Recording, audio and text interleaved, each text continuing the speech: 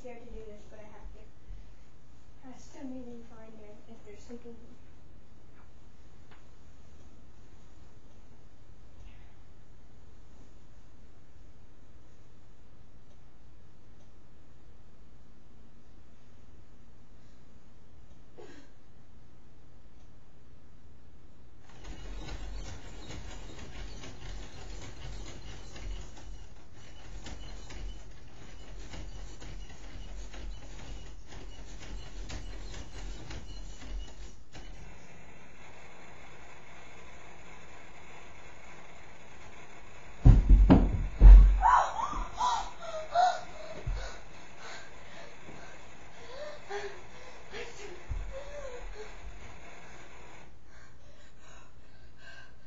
snowing here.